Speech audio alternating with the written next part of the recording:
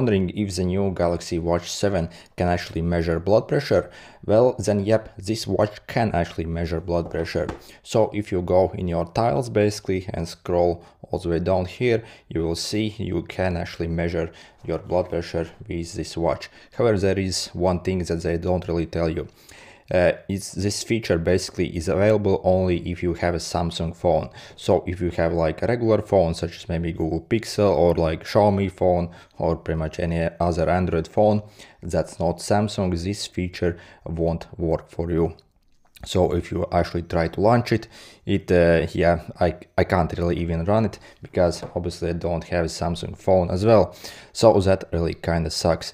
And actually Samsung doesn't really disclose this on the packaging even on the packaging that this is like that. So yeah that's something you have to be aware of.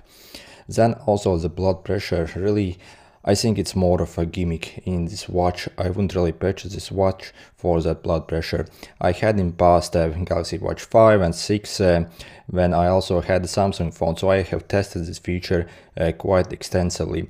And basically what you have to do, uh, you have to actually like calibrate this watch every like few days with like a real uh, like uh, like a real uh, blood pressure machine basically.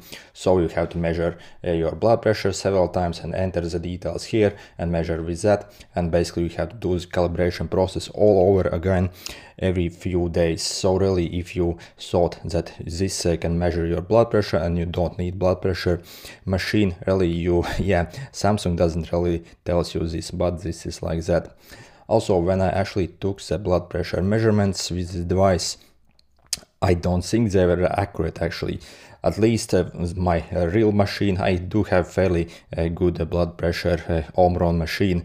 So, and it actually measures pretty well. However, this one, it stayed pretty much uh, super consistent at around the same value all the time.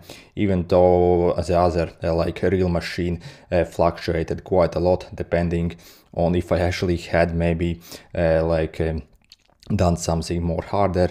Uh, previously so my blood pressure would be up or maybe walk some stairs. This i don't think it's even that precise really. So really i wouldn't purchase this uh, galaxy watch 7 uh, for this blood pressure Again, to be honest, I haven't tested the blood pressure on the Galaxy Watch 7 as I don't have Samsung phone. However, I have used it, it on 6 and 5 and tested and have I have found it pretty much useless really. So and a gimmick really. Also this watch does have quite a lot of other stuff as well this year. So it has got metabolic health tracking, HRV, your body battery basically this uh, like energy score basically. Then also it can measure your ECG, it can even provide your biological age and uh, detect if you have sleep apnea and also if you are uh, if you suspect you might be a diabetic uh, it might actually give you heads up that you have some problems. So it can actually do a lot of these things. Uh, but the sleep apnea blood pressure and ECG actually is only again limited only to the Samsung phones and they don't really disclose this to you. So be aware of that. Anyway yeah see you